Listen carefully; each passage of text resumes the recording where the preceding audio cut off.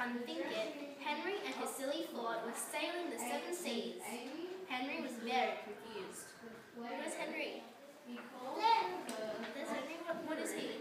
A highway. And what's his boat? What's that? A barca.